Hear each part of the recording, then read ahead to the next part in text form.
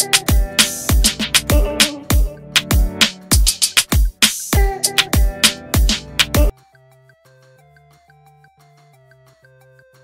าราด็อกซ์ยกก้อยนัตตี้ดรีมเล่นเยอะเหนื่อยกว่าใน MV เอาแต่ใจพาราด็อกซ์ยกก้อยนัตตี้ดรีมเล่นเยอะเหนื่อยกว่าใน MV เอาแต่ใจ เพลงแรกจากโปรเจกต์เพลิน Original อัลบั้มเฮในเครือ GMM Grammy สดใสทะลุล้านไปแล้วหลังจากปล่อย MV เพลง เอาแต่ใจที่มีเรื่องราวสนุกสนานสไตล์พาราด็อกซ์ พาราด็อกซ์ บวกกับความแสบซ่าน่ารักของก้อยนัตตี้ดรีม โดยเพลงนี้เป็นเพลงแรกจากโปรเจกต์เพลิน Original อัลบั้มเฮ ที่แอปเพลินจับมือกับค่าย White Music ในเครือ GMM Grammy รวม 10 ศิลปินนักร้องนักดนตรีมาร่วมสร้างสรรค์5เพลงด้วยกันสำหรับเนื้อหาใน MV เกี่ยวกับผู้หญิงชอบที่จะปั่นผู้ชาย อยากที่จะให้เขามาง้ออยากจะเอาแต่ใจแบ่งเป็นทีมผู้ชายทีมผู้หญิงที่ต้องแข่งกันเพื่อเอาชนะพาราด็อกซ์งานนี้ฝ่ายสาวสาวก้อยนัตตี้ดรีมก็มาเล่าถึงความสนุกให้เราฟัง บรรยากาศการถ่าย MV เอาแต่ใจในวันนั้นบอกเลยว่าพวกเราโชคดีมาก ๆ ที่การถ่ายทำ MV ทั้งหมดเนี่ยอยู่ในอินดอร์ทำให้เราแบบไม่ร้อนเย็นสบายตลอดเวลาค่ะ หัวเราะ เราก็เลยมีแรงที่จะเล่นอย่างเต็มที่มากๆ แล้วกับพี่พี่พาราดอกเรารู้สึกว่า เวลาพี่พี่อยู่กับพวกเราเขาจะดูแบบนิ่งไปเลย เพราะว่าพวกเราเสียงดังโวยวายมาก หัวเราะ เวลาแบบ action ให้เล่นให้กระโดดให้อะไรแบบนี้เขาก็จะเต็มที่มาก รู้สึกว่าพี่พี่เขาน่ารักจัง ซึ่งพวกเราก็รู้สึกเป็นเกียรติมากที่ได้ร่วมงานกับพี่พี่พาราด็อกซ์ด้วยค่ะ เพราะว่าเป็นศิลปินที่เราติดตามฟังเพลงเขามาตั้งแต่เด็กๆ ก็ไม่อยากจะเชื่อว่าตอนนี้เราจะได้มา ร้องเพลง feat กับพี่พี่พาราด็อกซ์ค่ะ สุดท้าย พวกเราก็อยากจะชวนทุกๆคนนะคะ ไปฟังไปชม MV เพลงเอาแต่ใจกันนะคะ แล้วก็อย่าลืมมาเต้นเอาแต่ใจ challenge กันด้วยมีท่าเต้นให้ด้วยนะคะ ไปเต้นกันเยอะๆนะคะพาราด็อกซ์ ด้านต้าพาราด็อกซ์ก็มาพูดถึงความน่ารักของก้อยนัตตี้ดรีมไว้ว่า ประทับใจความเป็นมืออาชีพของทุกๆคนครับ แต่ละคนก็ร้องเพลงกันดีอยู่แล้วด้วย และก็มี character ที่ตรงกับเพลง มีความแสบซ่าและเอาแต่ใจ ฮ่าฮ่า บรรยากาศตอนถ่ายก็สนุกครับ แต่ของน้องก้อยนัตตี้ดรีมน่าจะเหนื่อยกว่า เพราะมีบทที่ต้องเล่นเยอะของวงสบายหน่อยอยู่แค่ในช่วงร่วม scene กันบนเวที ก็ขอฝากเพลงพิเศษเอาแต่ใจด้วยครับ เพลงนี้อยากให้สาวๆ เอาไว้ใช้แซวตัวเองหรืออยากให้เป็นเพลงสนุกสนานในงานรื่นเริงต่างๆ และสามารถฟังสดๆ ได้ตามคอนเสิร์ตของพวกเราพาราดอกได้อีกทางครับพาราดอกสำหรับเพลง เอาแต่ใจพาราดอกและก้อยนัตตี้ดรีมชมมิวสิกวิดีโอที่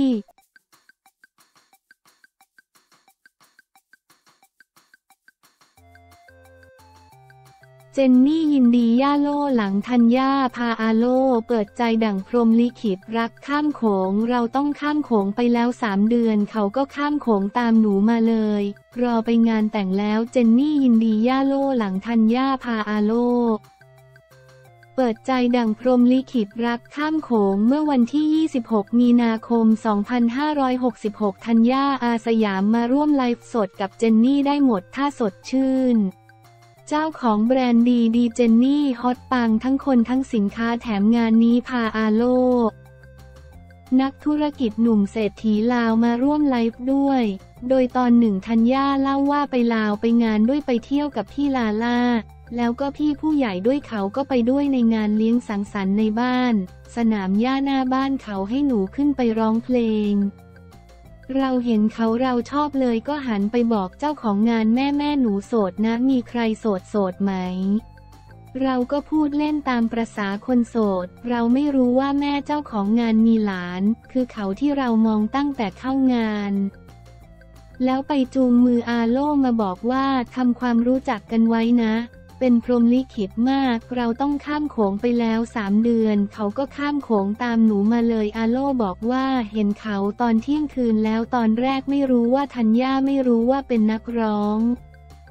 เป็นคนดังพอมารู้จักกันเขาเป็นคนน่ารักชัดเจน ชอบตรงที่เขารัก เราหนูเถียงมาตลอดว่าหนูเป็นคนจีบเขาก่อน เขาไม่ได้จีบเราเยอะเลยหนูเป็นคนทักหาเขาก่อนเชื่อไหมวันแรก รู้จัก add เฟซบุ๊กคืนนั้นหนู video call เลย แล้วหลังจากนั้น video call กันทุกคืนทำไมรักเขา เขาชัดเจนเหตุผลเดียวกันเหมือนเขาอยากสร้างอนาคตเหมือนกัน ต่างก็ไม่ได้มีครอบครัวที่สมบูรณ์ เราอยากสร้างครอบครัวที่สมบูรณ์ หนูงงกับตัวเองว่าทำไมมันเร็วจัง เราตัดสินใจเร็วเราไม่เคยตัดสินใจอะไรเร็วขนาดนี้ แม้กระทั่งเป็นแฟนมันใช้คำว่าแฟนเร็วมาก ถามว่าตอนนี้ห่วงไหมไม่ห่วง เพราะเขาก็รักหนูคนเดียว เจนนี่มองว่าคนที่ใช่บางทีมันก็ไม่ต้องใช้เวลาป่ะพี่พี่ดาราของเราเป็นตัวอย่างหลายคน ถ้าเรารู้สึกชอบเราคลั่งรักเราอยากได้ เราต้องทำทุกวิถีทางถามอาโลเป็นคนเจ้าชู้ไหมอาโลบอกว่าเมื่อก่อนเป็นคนเที่ยวตอนนี้หยุดแล้วเขาก็ไม่เคยห้าม แต่เราตัดสินใจเองไม่ไปดีกว่า เพราะอยู่คนละประเทศไปก็ไม่รู้ไปไหนด้วย โดยเจนนี่ยังได้โพสต์ภาพพร้อมแท็กถึงธัญญาด้วยว่า เอาดีๆ วันนี้ฉันฟินมากนะ ย่าโลคือแฮปปี้สุดๆ น้องทั้งสองน่ารักมากรอไปงานแต่งหน้าจ้า จะบอกว่าวันนี้ดีดีเจนนี่ขายดีที่สุด ขายดีแบบไม่เคยเป็นมาก่อนสินค้าดี การตลาดปังเจ้าของแบรนด์ก็ยิ้มแก้มแตกกบจ้า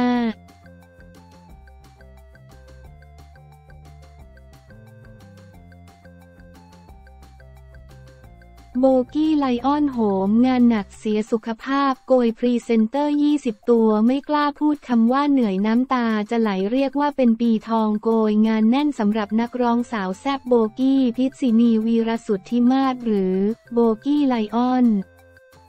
รับทรัพย์ไปแบบรัวๆ กวาดงานพรีเซนเตอร์ไปแล้วกว่า 20 ตัวงานแน่นยาวๆ ถึงปีหน้าล่าสุดโบกี้ไลออนเปิดใจในงาน GMGRANDOPENING New PRESENTER Psychono Collagen Laura Plus ที่เซ็นทรัลเวิลด์ยอมรับโหมงานหนักจนส่งผลเสียต่อสุขภาพ ตอนนี้อาการภูมิแพ้กำเริบหนักไปถึงเส้นเสียงโพรงจมูกหลอดลมโบกี้ไลออนเผยว่า เราอาจจะไม่ทำงานขนาดนี้ถ้าไม่ได้เป็นหนี้ล้อเล่นจริง ๆ เราเป็นคนบ้างงาน ชอบทำงานมากค่ะ รู้สึกว่าตัวเองอยู่เฉยๆ แล้วฟุ้งซ่านเมื่อวันก่อนไปทำงานที่จังหวัดเลย ทีมงานนั่งเครื่องบินไปแต่โบกี้เลือกที่จะนั่งรถตู้ 10 ชั่วโมง เพื่อไปร้องเพลงหนึ่งชั่วโมง แล้วนั่งรถตู้กลับอีก10ชั่วโมง เรารู้สึกสบายใจดีที่ได้เติบโตบนรถตู้